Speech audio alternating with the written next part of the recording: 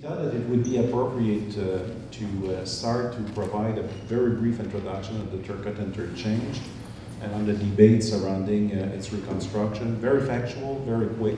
Some of you might not be familiar with the, uh, the infrastructure, so I would read, you know, like just a few uh, basic facts. So uh, the Turcot interchange was commissioned in 1967 just in time for the opening of uh, Expo, uh, the exposition of 1967, you know, so era times in, uh, in Montreal, modern Montreal.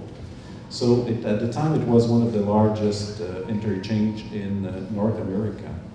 Uh, it is located in Saint-Henri where it connects to Highway 15, 20, 720, also known as Ville-Marie. the structure culminates at some 30 meters above the ground and accommodates a total of uh, 18 lanes of uh, traffic that are distributed between 12 ramps, so it's quite uh, large.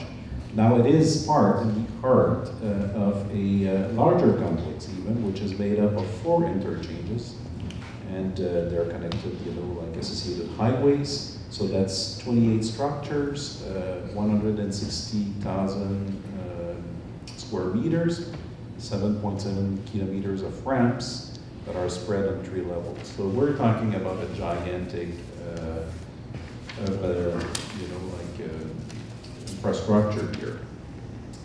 Uh, now the Turcot interchange, you know, the art of this complex is crumbling uh, currently. You know, it needs to be replaced, rebuilt. So there's like a consensus on that. So that in, in 2007, the uh, Ministry of Transportation of Quebec, the MTQ, made a reconstruction project publicly known. Uh, eventually, this uh, was the object of a public hearings at the BAP, you know, like the Bureau d'Audience Publique en Environnement. And uh, the proposal of the MTQ, as was mentioned before, you know, elicited much criticism from citizens, community groups, experts, and even public uh, bodies. Uh, for its uh, failure to meet minimal, according to such uh, critics, you know, its failure to meet minimal environmental, social, economics, uh, sustainability standards. Uh, so I will now turn to Victor, who uh, studied, you know, like the, the question, and was quite fascinated, Victor, when we first met, you know, and had this exchange about uh, your work, the way in which you uh, became interested into the Turcot interchange and, and, and uh, you know, like the debate surrounding its reconstruction and uh, how this uh, triggered, you know, like uh, an interest which became part of your work and produced, you know, like a significant piece of work. So I would like it. I was interested, and I think that people would be very interested in hearing about your démarche artistique or the process, you know. And as I understand it, it's it is twofold are to, uh, so can you talk uh, to us about it? Yeah. Uh, sorry. I'm not uh, very used to speak in this context. It feels so wrong. I wish I could like talk like that, but I think that supposedly you guys don't listen anything, right? Okay. So have to use this. Um, so uh, don't know how many of, of, of, uh, here uh, it actually have a chance of, of seeing the work that was displayed. Uh, but it is, um, well, it comes from, from uh, I would say, two different uh, um, questions that I was having back more than a year ago. Uh, it was coming from a quest of um, expanding uh, it might sound a little bit uh, arrogant, but that's not the intention. I was trying to expand the form of documentary filmmaking practices a little bit by twisting the, the form a little bit. At the same time, I was uh, interested in the triple uh, interchange issue, uh, and this is coming, I have to say, it's coming from Daniel Cross, which is here present. Uh, is, is the guy here on the front row with a little hat. He's, uh, uh, in my opinion, one of the most important documentary filmmakers of Canada, that's hands down. Uh, and he's been working on a documentary about the triple interchange like for the last, what, like five years or something like that. And the documentary is continuing as the God is continuing. Uh, so I became, I became interested in the issue thanks to him. At some moment at graduate school, I was thinking about, in a very theoretical level, how do I, um, I wouldn't say innovate, but how do I start using the documentary form in a different way that it's a little bit far from the conventional viewing um, spectacle settings from the 19th century, which is you have a very conventional narrative which has a beginning and the end. It really doesn't matter how avant-garde you get, but you go to a home, uh, you go to a theater and you have a, a very uh, a fixed screen and you have a fixed duration and you have to watch it just from a single point of view and you have to only get one screen at a time, right? Uh, so I was thinking, how do I, and then through the research, uh, then later on I was hired as a research assistant for them, so I was thinking, how do I convey all these different kinds of information, which you have archival footage, and you have interviews with people, and you have uh, tons of academic uh, writing and books and quotations. So thinking, how do I convey all this information into a single viewing experience? Uh, of course, you can do that in, in, a, in, a, in a documentary, but you have to go through the whole thing and wait until it passes like 10, 15 minutes and you get to that, which is, I'm not diminishing, but it's just trying to offer something different. So I realized that the installation uh, format it was the most convenient way of doing that. So I asked Dan permission. I was like, you know what, I want to go and do my thing. Is that okay with you? And he was like, yeah, sure, go and do it.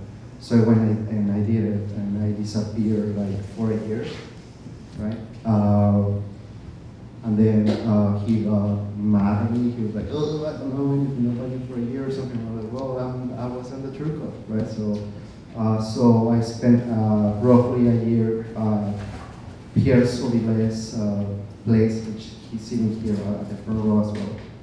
Um, using different techniques, uh, using a little bit of oral history techniques, and I didn't want to just come and do an interview and it's like, okay, give me the goods, right? What's, what's the great thing about the True? So I spent roughly a year at Pierce, and the technique that I would do if people are not familiar with oral history is just basically just get a different kind of uh, relationship with your subject, right? So uh, you, uh, because I, I, would say that one of the original sins of documentary is exploitation, right? That's that's the, the biggest and the most important issue always in documentary, how exploitative you you are, why are you using your subject for your own artistic endeavors, and so on and so on. So the oral, the oral history technique allows the filmmaker to uh, achieve a more profound relationship with the subject. And one of the aspects of that technique is just let the person speak. So you have to be with the person hours and hours and hours and days and weeks and then weeks becomes months and in this case become years. And Zabile can talk.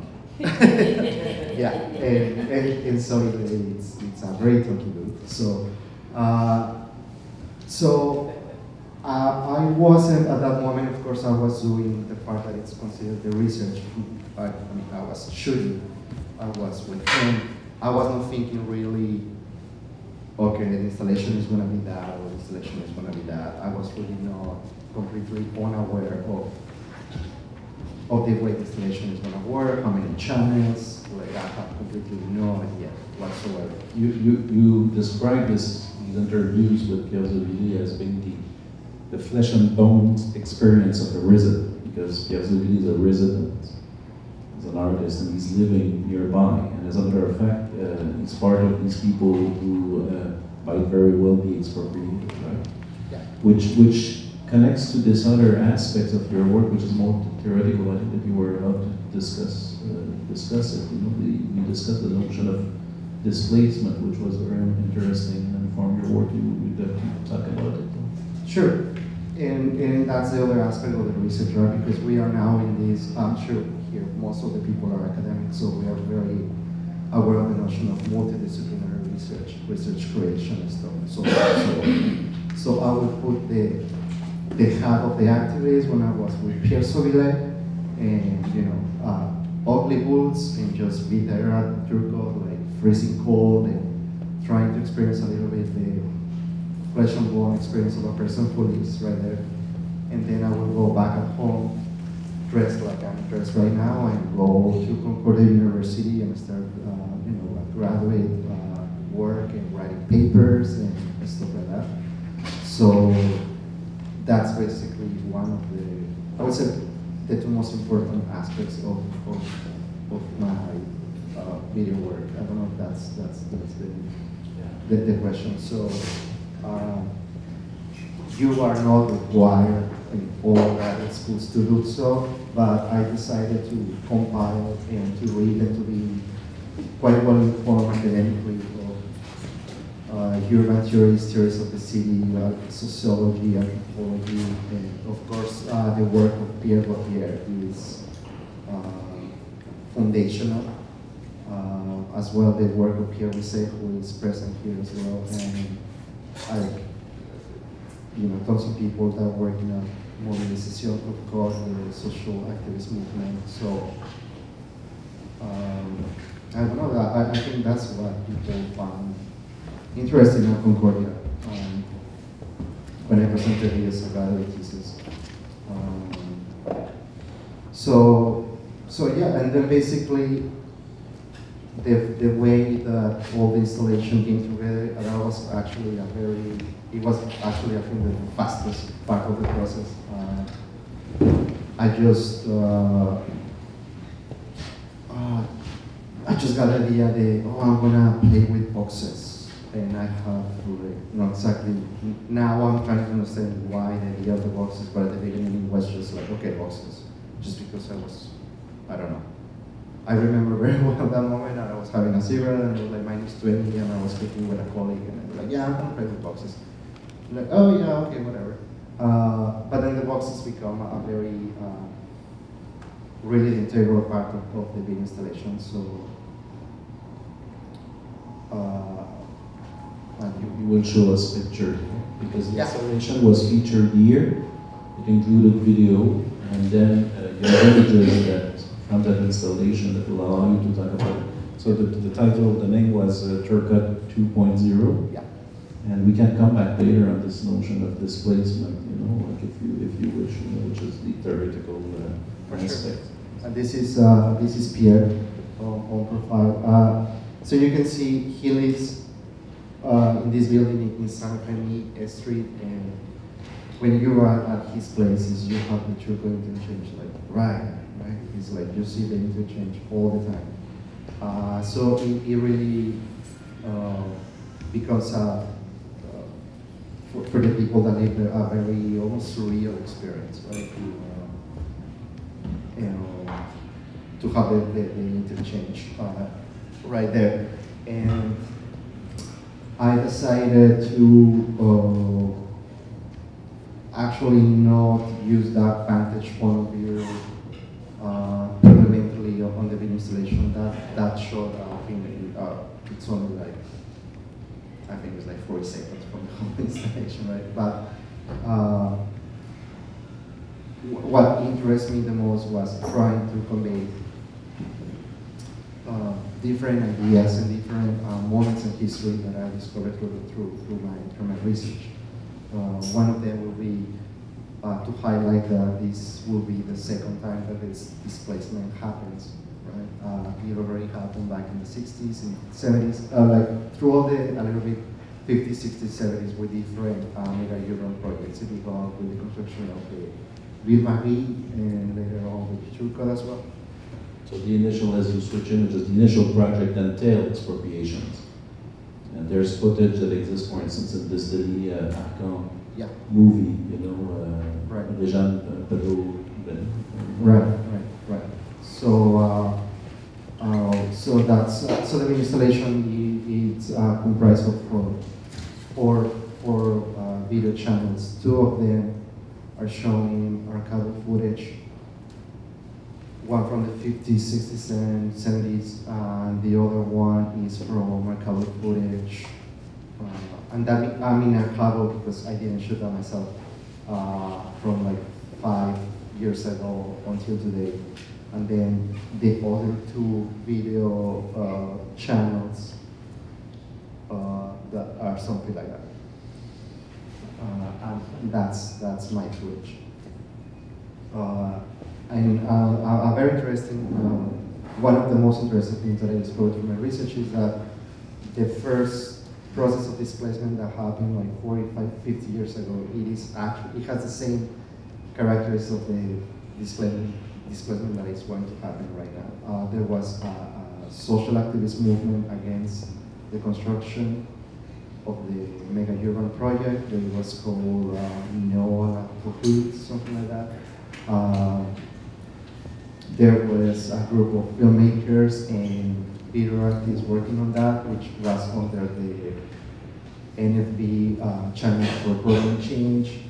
Uh, so you, you find many similarities in, in between, uh, even though it's like 50 years in between. Uh, so that was an interesting thing to to come across, and and the video installation attempts to do that, because obviously as as as a, as a video artist, and when you have a, a, a let's say a long video piece, mine is like almost 40 minutes. You're not always expecting people to actually see it and go through the whole thing. But you, I was expecting only for people probably to pass by, get a glance. And people that don't know what the Turcot is, just to try to bring a little bit of awareness to the issue. And they would say, oh, Turcot, what's Turcot? And they would just get a glance, like, oh, is that, oh, um, is there something going on there? And probably they would just Google it and they will try to uh, get a little bit more information, right? Because one of the things that happened uh, a lot when what was, and it's still happening with me right now, is uh, people ask me, oh, what, what did you do? Or what have you done? And I'm like, well, I'm doing Turcot. And people don't know what a Turcot is. They're like, Turcot? What's Turcot? I'm like, uh, do the interchange? Like, when you're coming into Montreal, the thing that you're driving, that huge thing, that's a code. Oh, really? And what's going on? Like, oh my God, really? No clue. Uh, so that was one of the part of uh, that, that I really wanted to do with this installation, just to try to bring a little bit of, uh, just to spread out the word a little bit out there. And, uh, and that's it, it's trying to bring a little bit of awareness to it. Part of it is political engagement, and these are the boxes that you were referring to uh, Yeah. earlier, right? Yeah, So the, the video was is using these as a screen for uh, the presentation of the video. yeah, yeah, that's correct. Um, yeah, for different reasons, the boxes were used, but there was an aesthetical concern, but there were uh, also uh, political concern, and of course, there's a symbolic factor for uh, all the people that are going to this place is. Uh, well, you get your life into boxes, right? So suddenly your, your life it can be contained easily into any of those boxes, right? So, uh, which to me is one of the biggest crimes of uh, contemporary society. of course, there are more important issues and probably more. Uh, uh, I wouldn't say important, but more. Uh, um, of, of more political uh, concern, like uh, narco traffic, like uh, you know, First Nation people. Like there's tons of issues. Uh, but from my perspective, the issue of displacement in contemporary society is it's one of the biggest issues because it's it's an issue that you can uh, find, and, and because of mega urban projects, right? It's happening all over the world. It's happening in Hong Kong. It's happening in Mexico City. Montreal, you name it, it has happened in tons of cities. To me, that's almost like a crime, right? Being at uh, the receiving end of the equation, uh, to me, you know, like these boxes symbolize as well, you know, like the um, um, these are, what, they're, they're modular, right? They're modular so that they can fit into containers, so they can, so it's a, they're a symbol of efficiency and Yeah. transportation as well. For So sure. my, you know, deformation as an architect, as- a planner, made me read that into your work. But uh, we're, we're allowed to do, but it's far more sophisticated than that, as you, you just mentioned, because they symbolize uh, displacement as well. Yeah, yeah, for sure. And the work of, of urban planners, of course, having for my, my own process, uh, big time. Uh, uh, Gauthier, Brisset, uh, and of course, I uh, use many urban theories and uh, urban sociology, just trying to inform a little bit more about this, these processes of not only displacement, but what the city, what the city is right now. Uh, because I, I, I think that one of uh, a very transcendent aspect of the cities right now, I, I think cities are strategic uh, sites for, you know, for uh, global economy, right? Uh, there are so many economical and political forces in the city that it's just, um, we are, uh, as, as citizens, we just cannot escape uh, that influence. And you know, I, I do feel a little bit the responsibility of talking a little bit about that. And in this case, it's an artistic form, uh, but I'm sure uh, Gauthier has the same concerns, but he uses the academic uh, milieu to express those concerns. Maybe we could uh, talk a bit about. Uh, For sure. go ahead. For sure. Do you want to conclude this? No, no, no, no. So we can, we can come back. Go ahead. Uh, So my, my work on Turcot basically started when I was working with my uh, urban planning stu- uh, students in a studio. We were working in Saint-Henri in 2007, 2008. And as we were, you know, like trying to understand the, uh, the issues, the planning issues, the potential for revitalization and so on, and the, the social, economic, and material, physical context of St. Uh, we, uh, this project, you know, like was made public from the Ministry of Transportation.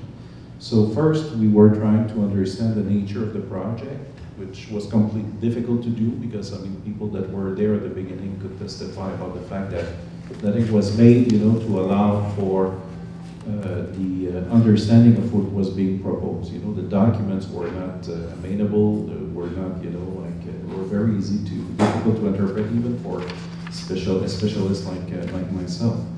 Uh, and so we were trying to understand the nature of the project itself and obviously its implications for the local population and the, the impacts on, on urban planning for the, uh, on you know, like the potential, uh, like the, the, the uh, planning, you know, for the area, if you wish. I was also involved at the time with uh, Community University Research Alliance project that was studying the mega project, the MUH, McGill University Health Center uh, project, which is just next to the Turcos inter- interchange, which just happened to be just next to it. So we were basically looking and trying to understand what would be the impact, positive and negative, trying to uh, capitalize on the presence and the, uh, uh, mitigate the, uh, the um, negative impacts and capitalize on the presence of the uh, hospital, the new hospital for local communities in Saint-Henri, Westmount, and NDG. So it became, it soon became very evident for the community groups and researchers involved in that project that Turcot would have a very important, and I should say negative impact on the surrounding neighborhoods, as well as on the, the, the broader Montreal context. You know, like as the more we knew about the project, the more perplexed we, we became, and, and at some point, you know, quite alarmed. Uh, eventually, the, the discussion has expanded as we got in touch with transportation experts, environmentalist groups, even public health uh, experts, you know, from the, uh, uh, you know, the, which are basically working for the Quebec government. And, and I should uh, mention here that the, the BAP hearings really triggered such uh, a collaboration, you know, like exchanges. And um, we uh, eventually, you know, as far as I'm concerned, you know, like this work has culminated, uh, culminated, you know, after the BAP hearings and so on, we continue to make representation, to work, to study, to try to understand the multiple implications. And, And at some point, this work uh, culminated in my, as, as, far as I'm personally concerned, with the, uh, the work, the, pro the production of an alternative scenario with Pierre Brisset, who's here, uh, who's an architect, which was uh, presented as uh, with the title uh, Turcot 375. So there's a video which is accessible on, uh, on YouTube, which was done by David, the director is David Chidori, which summarizes you know, this, uh, the whole episode, episode, if you wish, and explains you know, what we were trying to do and uh, how we, we came to the conclusion that perhaps, you know, like illustrating how the principles that we were advocating for and community groups were advocating for could inform the project because we felt that uh, such a such a, such a thing wouldn't come from the, the, uh, the MTQ itself. But now, as as, as time passed, uh, obviously. Um, I started to, to reflect, as, as you did, Victor, in, in your work, you know, on uh, trying to understand what Turcot says about, about Montreal, as you, you would put it yourself, uh, and more broadly, how uh, highways are shaping in cities uh, in ways that we do not necessarily uh, suspect, you know, at first glance. The more it went, it, it, it, it, went, you know, as a researcher, I was interested in, in, in well, my specialty is looking at the uh, material culture, the evolution of the built environment over time. And uh, which means, you know, I'm also teaching in urban design, physical planning, which is a natural uh, extension of this uh, research work. Uh, but it's also about looking how people engage with the built environment and how the built environment supports and favors, you know, social interaction, social transactions, and so on and so forth. You know. But even if I focus, you know, like research-wise, more on the actual built forms, you know, it is, uh, I'm doing so knowing and trying to understand the cultural depth and how, you know, streets, for instance, or buildings are uh, manifesting cultural forms that have, you know, like broader implications and that have deep roots in the minister. As far as the, uh, the, the, highways are concerned, you know, when starting, the reflection was triggered by the Turcot interchange debate and so on. Then it was a matter of seeing, you know, I came to see these, such a highway as a concrete manifestation, as you did, you know, like of broader forces that impact the, the social, uh, you know, like fabric of our cities. And, and, but also, you know, as I said, you know, like the, the, the physical fabric of our, of our uh, cities. Not to mention, obviously, the environmental impact that are, they're very important, they're documented, this is where public health experts, you know, come into the debate, for instance, uh, and that's documented. But uh, I think that to understand the, uh, you know, the fact that the um, that this manifests, you know, like uh, you know, like forces that shape our city that are broader, you know, associated with with capitalism, associated obviously with uh, industrialism, you know, like at first and so on. You know, well, this is well documented. We know that these forces are out there. We know that they are uh, shaping and reshaping our environment. We know that they entail commodification of everything. And, and so that, that the built environment becomes commodified, you know, doesn't come as a surprise for, for anybody. You know, this has been discussed in the literature for years and years and years.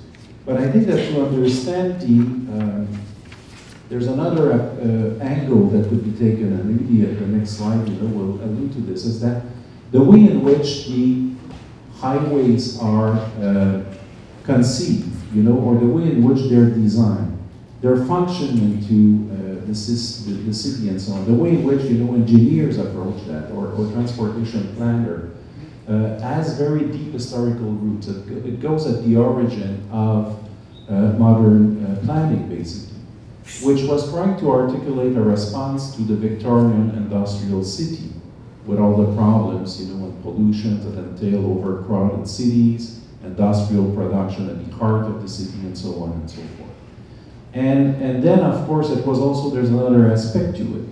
It's that it's, it's uh, you know, like in a, uh, the work of Haussmann, for instance, in Paris comes in mind you know, where obviously we were, uh, it's a marvel when you visit Paris and the Grand Boulevards and so on. But if you're a bit more familiar with the work of Haussmann, as many of you uh, certainly are, uh, you realize that Haussmann, you know, was approaching the problem of the city in a very different way, very systematic way, as a technical problem, basically. And the city was uh, looked at and, and, and seen as a series of technical problems of networks, technical networks, the word networks, the sewage system, the park networks. You know, you develop parks, you know, that and you conceive these parks as part of a network, you know.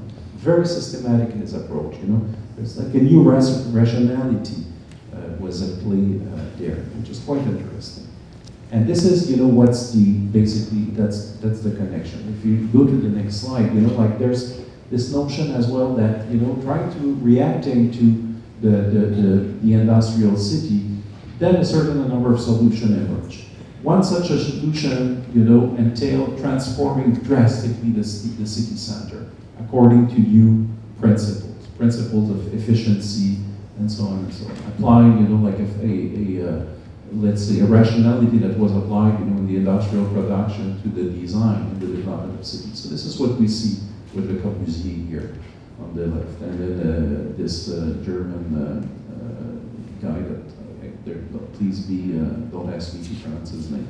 Okay, then we can go, it's Il, Ilber Sieber, I guess, but probably wrong. And then there's this other image. So that's one, that's part of the equation. And then in the next image, we see that another answer was to excluded from the city and to try to build, you know, like uh, a new life in the suburbs. It's basically, it's, it's just marking the, uh, the distinction between the domestic sphere, which was relegated outside the city, and to di differentiate it, you know, like uh, from the work uh, sphere, you know, and the acti associated activities, production activities that would be conducted in the city center at first and then in dedicated uh, areas uh, after that. Okay? So, so this is this is a, a, a, a um, the, the, the, the, general approach, but it's this is extraordinarily uh, pernicious because what you realize is that in the, the daily activities of planners and so and, and uh, transportation planners and engineers and so on, when you start conceiving uh, the city and the transportation networks in the city, you know, as such, as technical networks, then the street becomes one component of this technical device. It's only one component. And then the way in which the street is used, you know, becomes a function of, you know, the role that it plays within the more complex system. So, uh, and, and highways function very well, you know, when they're part of a hierarchized system. Because they're designed and the, the, there are mathematical models that are used to try to predict the, uh, the way in which people would behave, which is based on the gravity theory, which is basically a theory, mathematical theory that, that was developed, you know, to understand how watersheds are functioning. So it's like, you know, basically plumbing. Uh, so, but there's, there is an implicit theory of city behind such an approach, which I just laid out.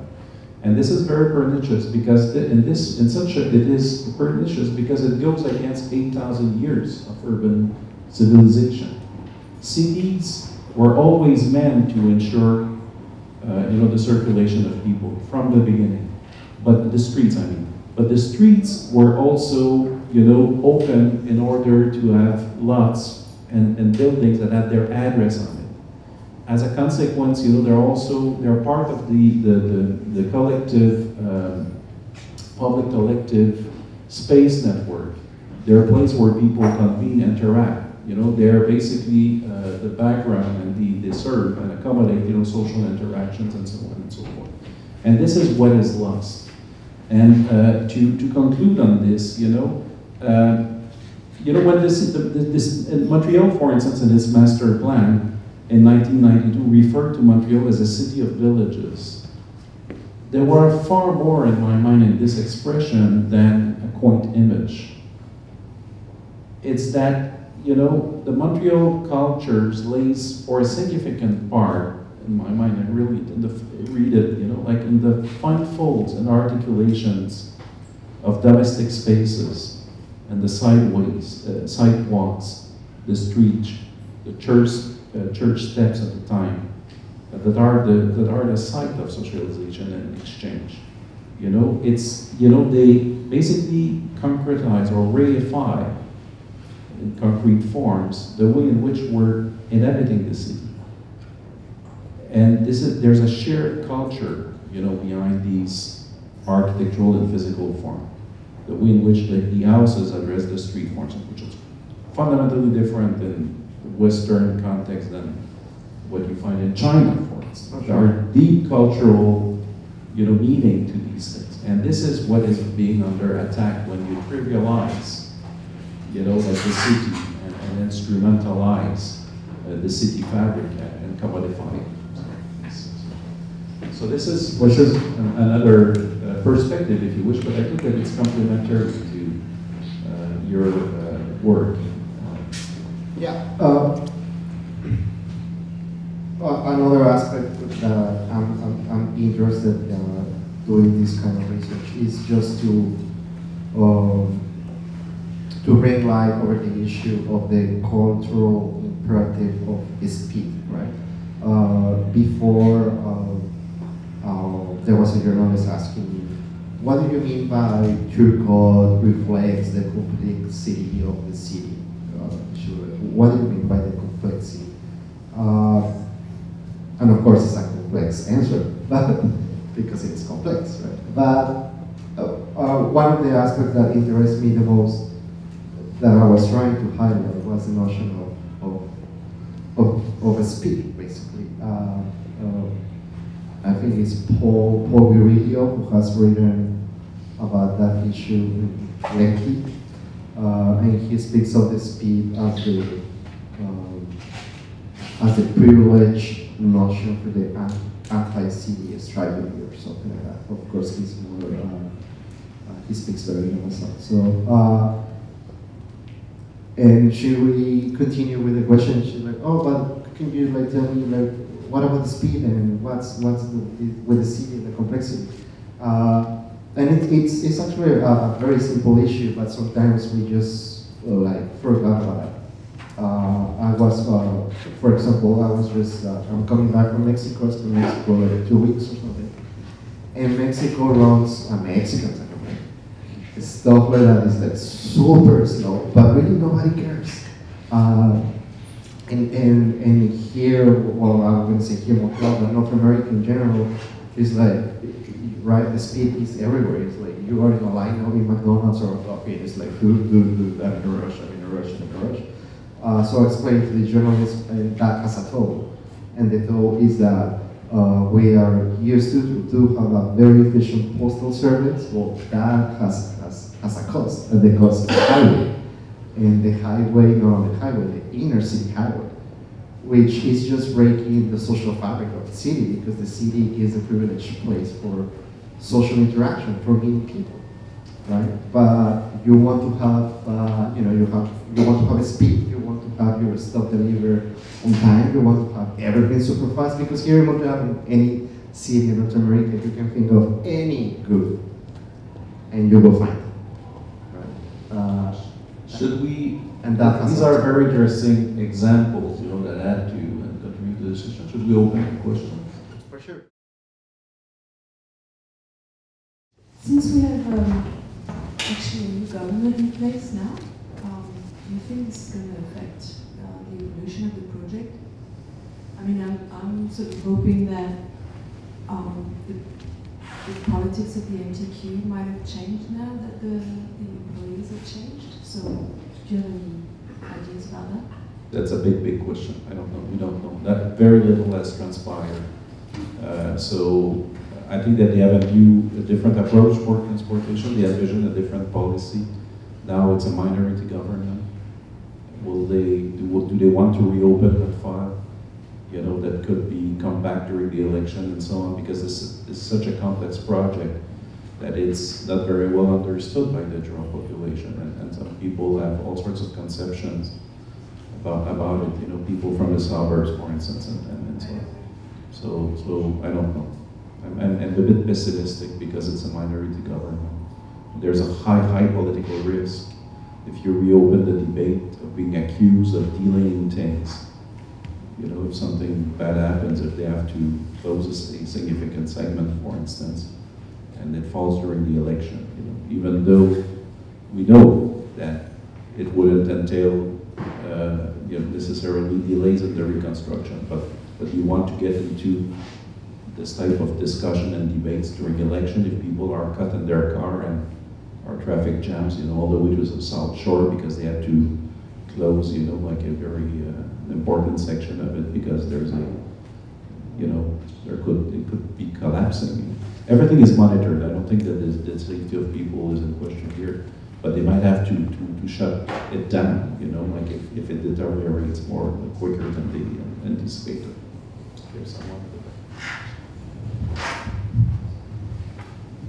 I'm just curious about what's being done in other cities because in North America, I'm under the impression that in the 50s and 60s, a lot of cities were building highways and interchanges. And I imagine that theirs must be crumbling apart at some point or in need of repair. Are they just replacing it? Why aren't we doing that? Would that be a better option? Just replace it, no expropriations, no additional cost, no additional volume, maybe nothing for public transit anyway. And I was just kind of curious if you had explored that. Yeah, Over well, the year. uh, I, I, I don't know just one example. For example, the example in Mexico City, they decided to build a second level. Right? uh, so yeah, it was crumbling, so they just reinforced the structure. Um, this is, hmm, I don't know, I don't remember the exact, the precise technicalities of the Mexico City inner uh, highway, but it is very large, like way larger than Turcot. Everything in Mexico City is like larger than life, right? So you can imagine just this highway that just goes on and on and on and on and on forever. Um, so engineers, they you know face that question that you, oh, what we do? We, we need more cars and we need more space, but it's, it's crumbling. What should we do? It's like if you want to remove that people, it's like you're gonna remove like two million people, it's, that's just impossible. So they just add a second level. Uh, and of course, a little bit more people were displaced. I really don't know how many, but for sure people, uh, and many people were killed during that, that right? Uh, construction workers, many were killed. There was an excellent documentary. There- are opposing forces in different local contexts, you know, like very rapid growth and so on, you know, like the response values. But in, in, in the northern hemisphere, generally speaking, when the growth is fairly, fairly modest, as in Montreal, the general tendency when, when governments are serious about uh, climate change and reducing, and this is 40, 40% of the uh, greenhouse gas emissions in Quebec are, are attributable to uh, transportation. So that's the sector where it grows very sharply, whereas in all other sectors, it declines, you know, like the R rate gain. So what, what these jurisdictions and other governments are doing is that you reduce the offer uh, of highway road transportation and you put in place, you know, very efficient uh, public uh, transit uh, systems. And especially with the clientele that is targeted as those who will move back and forth between the suburbs and the city center, for instance. And our research, you know, the, my research for, uh, for, uh, specifically, you know, but with experts, you know, determined that there are up to uh, 70% of the people using the east-west corridor uh, that use it, you know, like for their daily commute. So these are the people that are targeted. And you know what the solution exists? It's that to, to develop the, the rail towards the, uh, the, the West Island. And it's already studied, you know. So why is it that they don't want to do it? Like, I don't know, we might learn more, you know, like in the coming weeks and, and months. Uh, I don't know. Exemple d'autres villes, j'en connais It seems like we're talking about systems here, so I wanted to ask, if, have you studied, um, if you look at the port or the, the tonnage of materials coming into Montreal, how much of that is transferred to trucks and how much tonnage of what goes, for instance, on Ville Marie is actually commercial traffic and how much of it is, is, uh, is uh, people actually? It's- Well, it's, it's a very technical question. In Ville-Marie, you know, like all sorts of uh, material cannot go there because of the, because it's a tunnel for safety uh, reasons and so on. So not much freight in, in Ville Marie. We know that there are, uh, there's a significant, uh, like a corridor, you know, the 15 going to, towards the bridge. And when working, you know, we know that there's no uh, quick fix, you know, for that, that problem. And in our scenarios, you know, like we were keeping the level as it is right now, even accommodating growth, you know, the future. So there are more innovative solutions to deal with freight, you know, outside of the road, but we know that there is no quick solution for that. Uh, the solution, like a, short-term solution, uh, were far more evident, you know, as far as passengers uh, and, and motorists were concerned. But for trucks, you know, like our scenario that would reduce significantly the size of the, uh, the interchange and so on would, would still accommodate the same uh, level of uh, freight.